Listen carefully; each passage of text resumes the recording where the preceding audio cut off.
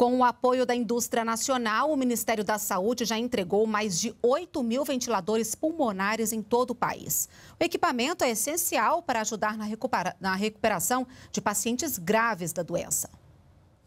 No mês em que faria 50 anos de casado, o seu Matias, de 80 anos, foi internado com a Covid-19. Ele permaneceu no hospital por cerca de 45 dias e precisou ficar entubado. A esposa dele, Dona Maria José, de 78 anos, também pegou a doença, mas não teve complicações.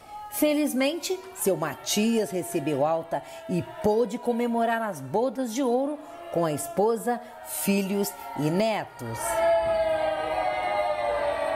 A ventilação mecânica foi fundamental para salvar a vida de seu Matias. Deu o tempo do corpo dele conseguir lutar contra essa doença. E aí agora ele chegou em casa e tá sendo a festa. Ainda precisa de oxigênio, mas aos poucos a gente tá conseguindo superar, né, não, vovô? É. Uma vez em que o paciente recebe o suporte da ventilação mecânica, ele ganha margem, né? ele descansa os músculos respiratórios, consequentemente, a gente consegue recrutar um pouco mais de alvéolos, que é a, a terminação funcionante do pulmão. O Ministério da Saúde já entregou ao SUS um reforço de mais de 7.900 ventiladores pulmonares. Todos esses equipamentos foram adquiridos por meio de uma estratégia nacional para impulsionar a fabricação de ventiladores pulmonares no Brasil.